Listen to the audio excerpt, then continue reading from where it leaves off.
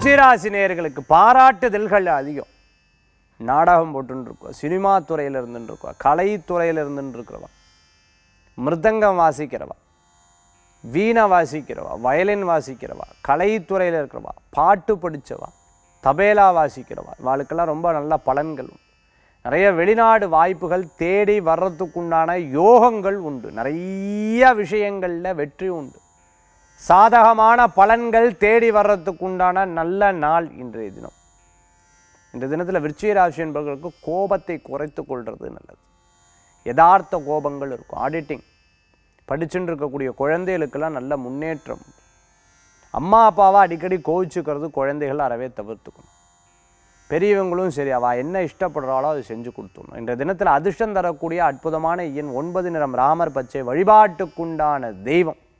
வழிபாட்டுக்குண்டான தெய்வம் துர்காம்பாள் வழிபாடு அமோக பலன்களை தரும் அற்புத வழிபாடு.